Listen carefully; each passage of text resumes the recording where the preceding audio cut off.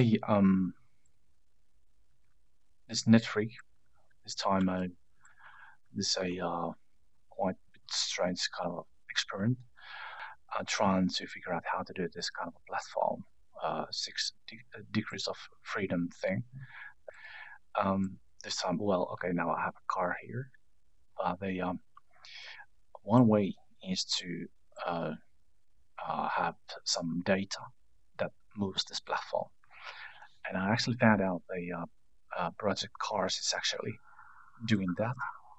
Um, uh, you can, from the settings, you can set up a um, UDP broadcasting of the telemetry, sorry, telemetry data from the game.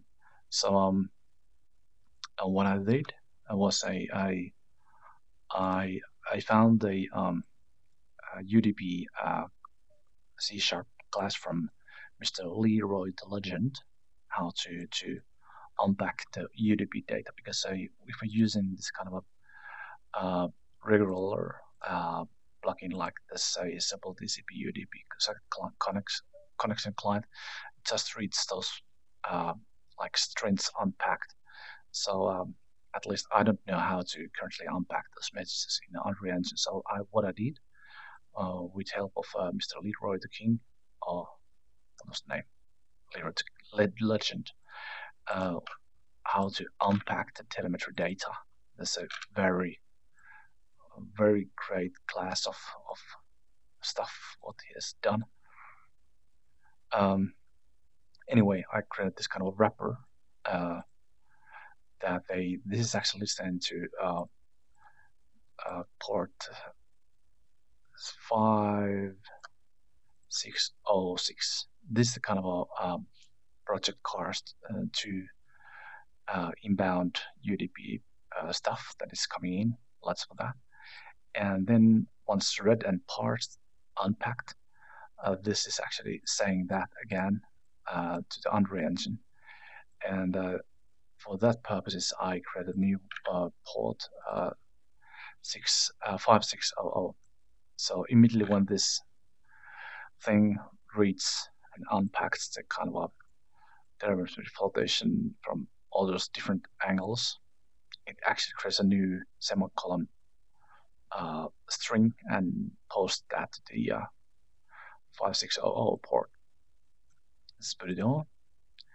And I um, here's the thing. Uh, uh, this is a very basic. Um, I have a UDP class that, is using uh, the plugin that I just showed you.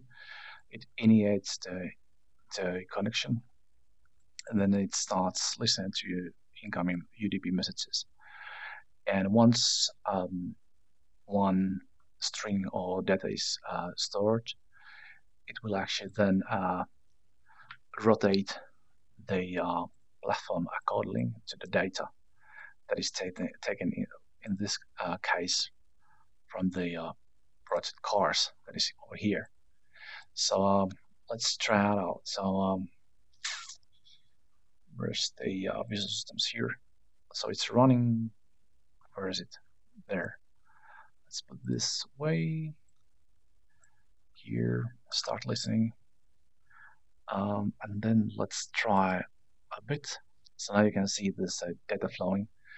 Uh, I don't know whether they are really raw bits but um, I just contacted them and it looks quite uh, proper data.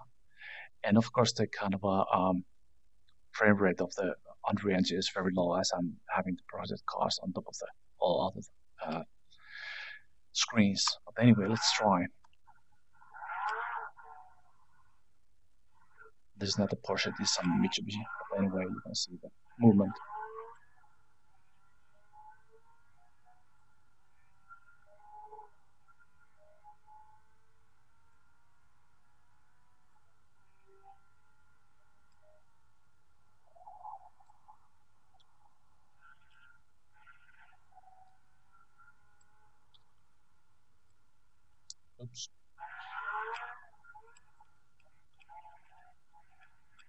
Let's change the uh, view. The uh, let's put it over here, maybe like this.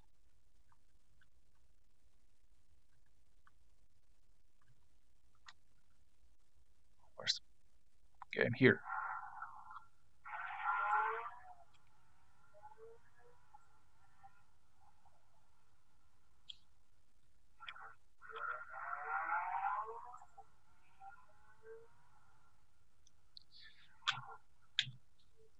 So like this, I'm not really sure if I have connected this to right uh, uh, axles and this might be also radians.